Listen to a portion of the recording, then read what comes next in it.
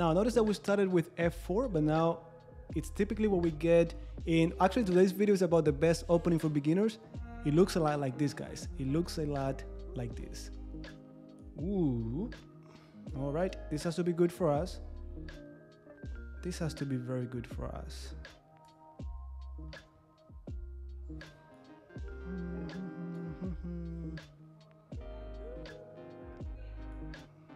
Mm-hmm. Mm-hmm.